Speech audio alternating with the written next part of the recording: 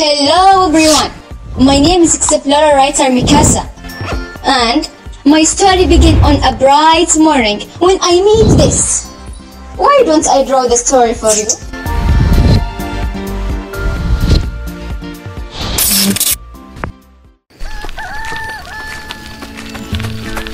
Oh, Mikasa! Hmm? Is that you? No, that's my shadow. Well, well. I brought you a message. Oh really? From whom? You will know for yourself. Oh wait, Kevin, tell me from whom? Bye bye! You can't believe my happiness with this letter. It was an invitation from IAEA to document their work in a written text. And I published it in my electronic newspaper. So I speed off. I arrived at the airport to start my great trip and I saw a village whose crops died from beasts and its people migrated to the neighboring cities and now the company is working to treat this beasts using nuclear technology and in the end they are close to success in the village to return. Me, I was wandering in the jungle. I saw a little girl about to die. My heart fell to the ground when I saw her. I came a little closer to see what's in her.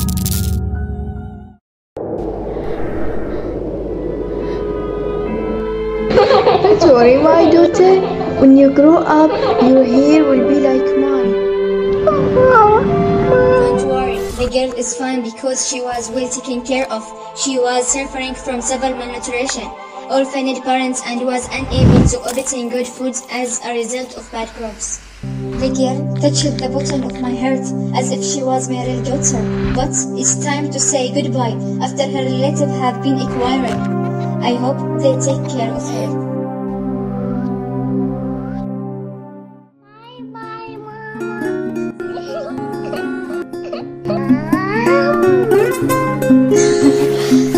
Time to dry your hair. Take care of you, Emilia. The second goal of the Sustainable Development Goals has always been one of the most important social issues, which is the complete eradication of hunger, or rather for security. And directly, I can say that after what I went through, I realized that nuclear techniques are not for destruction and demolition, but rather for repair and construction. After I saw the innocent Emilia escape from death, and that barren village came back to life, I realized that we could really eradicate hunger and starvation. Irradiation that might extend the lifespan of living organism can extend the life of food as there are no less than 16 food irradiation facilities in the world and there are 11 facilities in the Vietnam. The government export from Vietnam with a value of 20 million dollars annually the United States. According to UNICEF, one out of every three children suffer from malnutrition in the world, where in 1918 there were about 277 million children suffering from malnutrition and 314 million suffer from lack of food. Hidden hunger can be eradicated by using stable isotope techniques in assessing micronutrients availability and by food fortification and supplement production. We can conserve the soil and purify plants and crops for peace through nuclear systems and techniques. So, hand in hand, let's raise our flag, atoms for peace.